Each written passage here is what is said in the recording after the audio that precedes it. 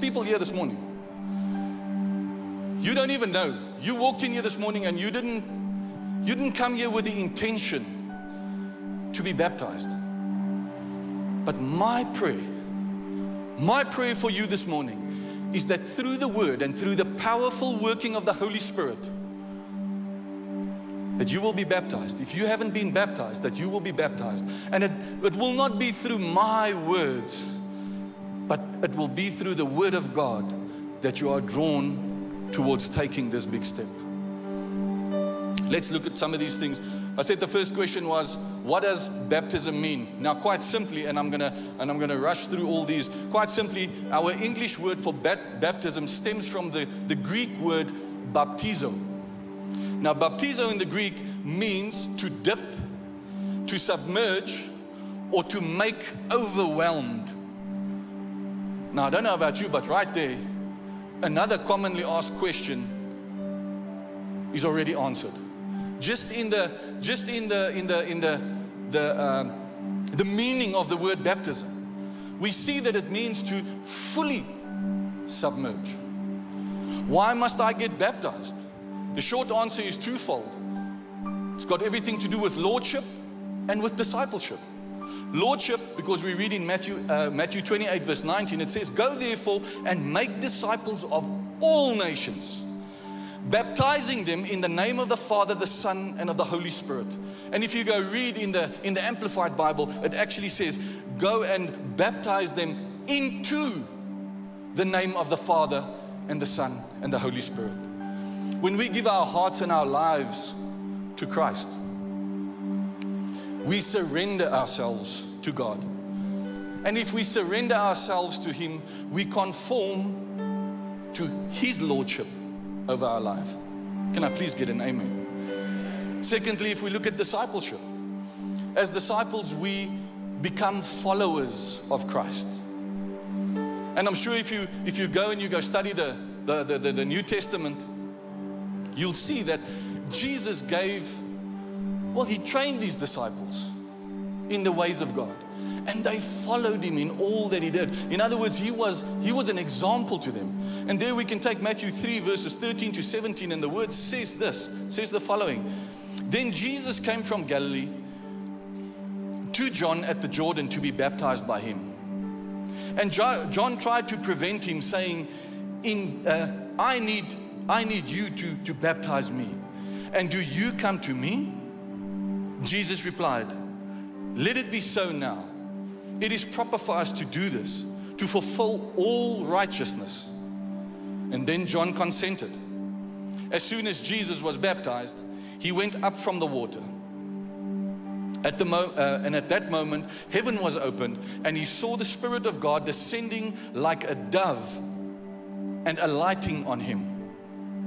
And a voice from heaven said, This is my son, whom I love. With him I am well pleased. Now, friends, if we if we call ourselves disciples of Christ, followers of Christ, then we are going to follow in the ways of Christ. In this scripture, Christ gives us prime example. And John rightfully said at this point in time, he said, Lord, I'm not worthy. I'm not worthy to baptize you. You are the one that needs to baptize me. But you know what? If you go study the word, you will see that all of these things, the baptism of Jesus by John, Jesus dying on the cross and uh, rising again from, from the grave, it was all foretold. So that no one can turn around and say, but this is something that has been made up. Many years before it happened, the prophets wrote these things down. You sitting here this morning and you and you may be asking yourself the question, but when should I be baptized? Let's look at three scriptures quickly. I'm going to read those three scriptures and then I'm going to answer that question. When should we be baptized?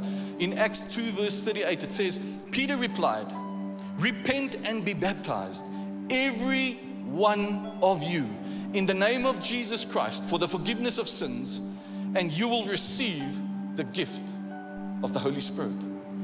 Acts 8, verse 36 to 38 says, As they traveled along the road, they came to the water, and this, this was Philip and the eunuch. They came to some water, and the eunuch said, Look, here is water. What can stand in the way of my being baptized?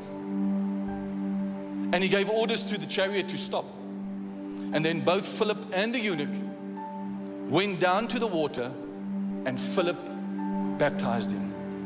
Acts 16 verses 32 to 33 where it speaks of Paul and Silas where they were where they were were beaten and they were thrown in jail and at midnight they sang praises to the Lord and we know that the the walls open as the earth shook violently. It says the following He then brought them out and asked, Sirs, what must I do to be saved? And they replied, Believe in the Lord Jesus, and you will be saved. You and your and your household. Then they spoke the word of the Lord to him and to all others in his house. At that hour of the night, the jailer took them and washed their wounds. Then immediately, he, uh, he and all his household were baptized. Three things that we see in the scripture. You must be saved before you are baptized. In other words, you must have at one point in your life got to a place where you say, Lord, I accept you as my Lord and my Savior. That sinner's prayer that we pray every Sunday after the service where we say, Lord, as the word says, if I believe in my heart that Jesus Christ is the Son of God, and I confess with my mouth that God raised him from the grave, then the word says, Jesus says, then I am saved. If you are looking for a prerequisite, that'll be it. To give your heart and your life to the Lord Jesus Christ. And you know what? We're not going to make it very difficult this morning. We're not going to overcomplicate things. We're going to get to the call very soon once I'm done with the scriptures. And I'm going to call those who already put their names down that wanted to be baptized or that wants to be baptized. But I'm also going to make a call for those people that have not put their names down. And we're also going to make a call for those people who have not got to the point of giving their hearts and their lives to the Lord. And you will be able to do it right here today. And just as the jailer and his family, who in the one moment gave their hearts to the Lord, and the next moment they were baptized, you too will have that wonderful, glorious opportunity today. What is the spiritual significance of, of baptism? A lot of people ask. In actual fact, to put it in, in very plain terms, we're going to have a funeral today. Now, a lot of people might not agree with that. They say, listen, I didn't come here. Are the people going to hold me under the water for, oh, until I see Jesus? No, no. We're going to have a big funeral service here today where the old is going to die and the new is going to rise with Christ. And you know what? Like I said in the beginning, there's scriptural references for all of this. 2 Corinthians 5, verse 17 says the following Therefore, if anyone is in Christ, in other words, I have given myself to the Lord, he is a new creation. Old things have passed away, and behold, all new things, all things have become new. The act of going under the water and rising up again is a, is a picture demonstration of what Christ went through. And listen to how beautifully how beautifully it is put in, in, in, in the book of Romans. And I'm going to make a few statements now and back it up with scripture. The first one is He died. Who is He? Jesus. He died, and I died in Him. Romans 6, verses 6 to 7 says, For we know that our old self was crucified with him so that the body of sin might be done away with. That we should no longer be slaves to sin because anyone who has died has been freed from sin. The next statement is he was buried and I was buried with him. Listen to what Romans 6, verses 3 to 4 says. Or don't you know that all of us who were baptized into Christ were baptized into his death? We were therefore buried with him through baptism. Did you hear what I said? We were therefore buried with him through baptism into death, in order that just as Jesus was raised, raised from the dead through the glory of the Father, we too may live a new life. The next statement is, He was raised, and I have new life in Him. Romans 6 and again, I'm going to read verse 4, but from verse 4 to 5, it says, We were therefore buried with him through baptism into death, in order that just as Jesus, Jesus was raised from the dead through the glory of the Father, we too may live a new life.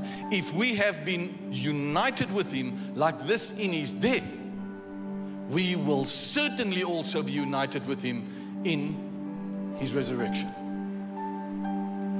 One more scripture, and then I'm going to start calling people forward. He ascended, and I ascended in him. Ephesians 2, verse 6 says it beautifully. It says, And God raised up with Christ, and, and God raised up with Christ, raised us up with Christ, sorry, and seated us with him in the heavenly realms in Christ Jesus. Friends, let it not be my words that draw you forward this morning. You've heard all these questions answered, and not answered by clever interpretation, but purely through the Word of God. That which the, the disciples wrote down through the inspiration of the Holy Spirit. Because the Word says that the entire Word of God is God breathed. God inspired word. And we were praying for you.